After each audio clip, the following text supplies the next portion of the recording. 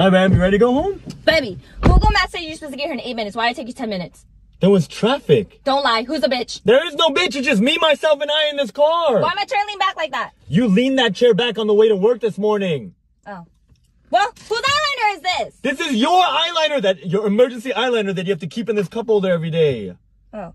Well, whose hair is this? This is your damaged ass hair, babe. This is yours. Baby, my hair's black, not brown. Your hair is brown, my lady.